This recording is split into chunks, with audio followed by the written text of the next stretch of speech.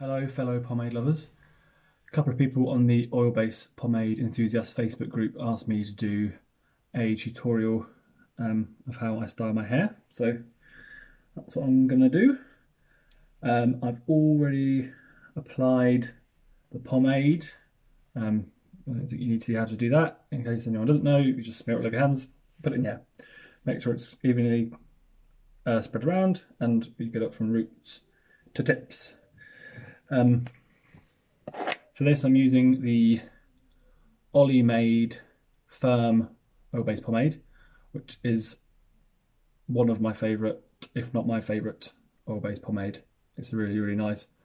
It's a proper firm oil base pomade, scoops out really easy, applies really easily.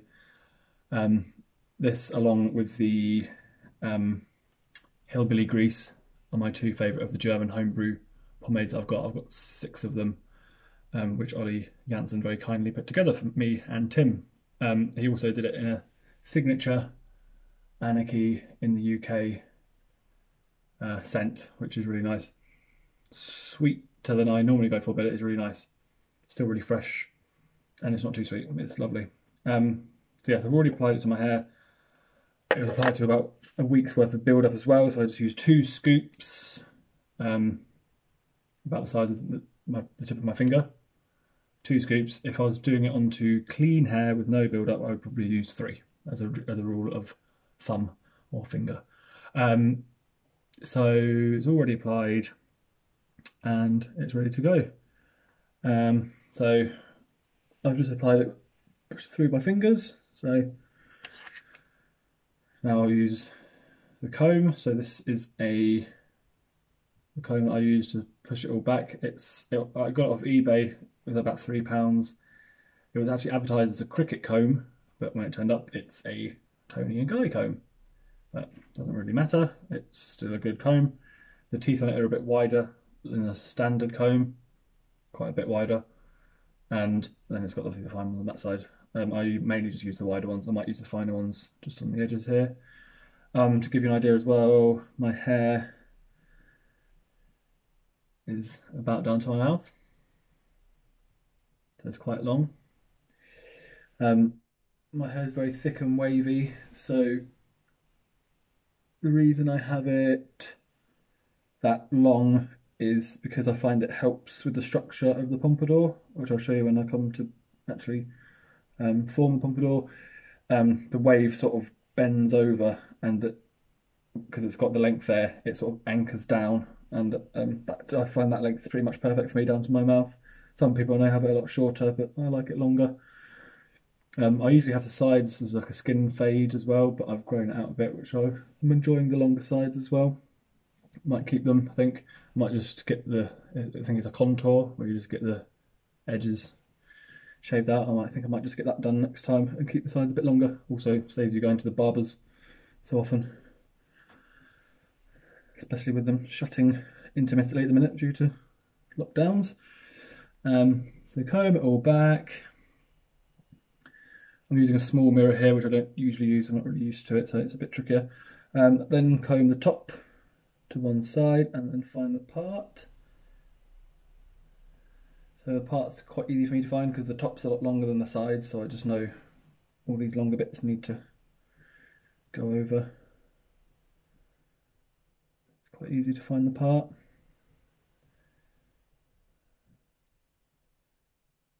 That's it.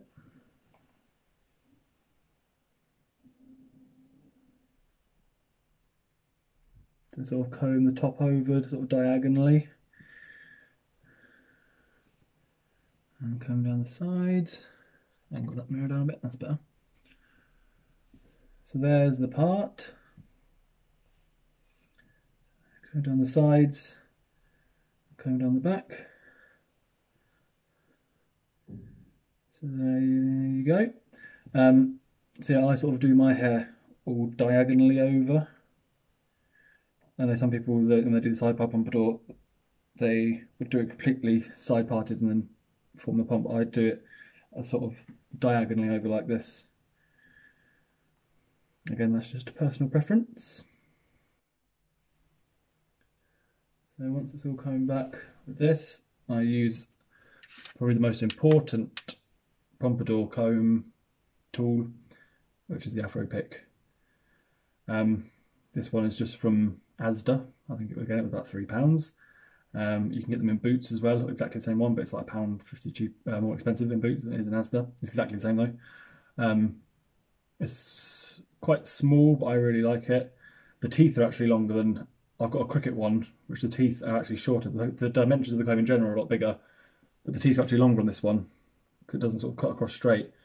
Um, it's a really nice comb. I can, I can fit it in my pocket as well, so I carry one around with me all the time to really throughout the day. It's nice and flexible, so it's not going to break in my pocket if it gets like lent on or anything. Um, yeah, perfect little comb. Um, so then just go, got a rogue bit there, can go down. So now we just comb the top, the afro comb. I know some people would just use a comb like this to do the whole thing. I can't do a pompadour with that comb at all. I need the long, the long teeth. So you can see the afro pick already starts to get some volume into it, and then it's just a case of dragging it up a bit, dragging it up, dragging it up. Use the other hand to sort of pat it down top. Make sure it sort of stays neat further back as well. So you're just literally just dragging it up and pushing it forward, dragging it up and pushing it forward. And now this is why I have the why I have the length I do because now you can see that the hair goes up and comes back and then the tips of the front of the hair sort of anchor down at the back and that's what gives it structure and shape. So like when you're using a firm or heavy oil base pomade, I can go out, I live in Northern Ireland, I can go out in the wind and the rain and it just doesn't, it doesn't even move. It's firmly set into place. So just dragging it up and then with the other hand pushing it forward and making sure, as I said, the tips are going down and anchoring at the back. So you're sort of like using your fingers like that to just sort of pat it down as you're doing it.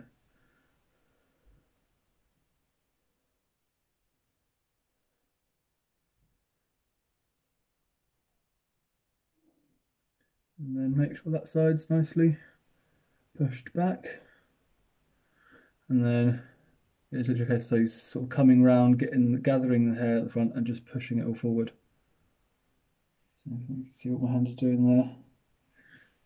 Getting behind it and just pushing it all forward. And just shaping it with your hand. Once you've done that and you've got the general shape, then just using Afro Pick and a hand on top to tease it forward a bit.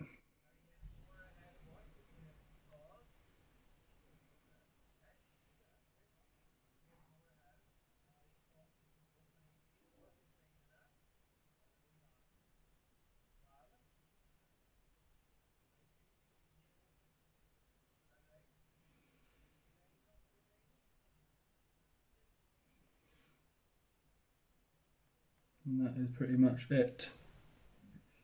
Tease it forward a bit more. So I like to have it a nice round. I don't go for a really, really tall pompadour. This is probably about as tall as I would go. I like it just to be a nice round shape. As Danny Teo on the Squinty Show always says, it's, I prefer a nice, as long as it's a nice round shape.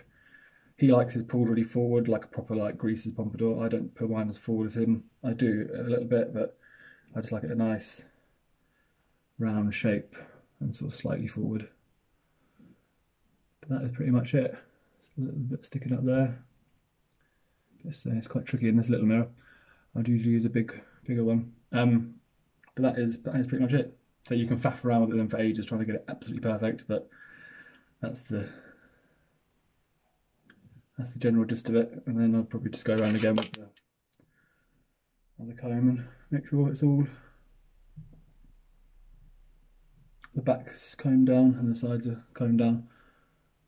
So there you go. That's pretty much it. You can see. Bring the backs down. You can as well if you want then put it forward. This one's got a bit more grip. Could use this comb to put it forward a bit more. But say I don't I don't put it forward a crazy amount. That's probably about, about it. There you go. That's it.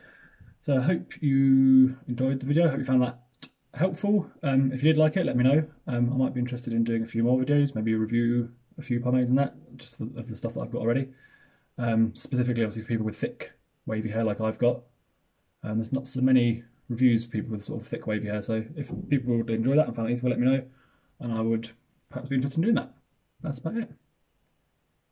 Cheers.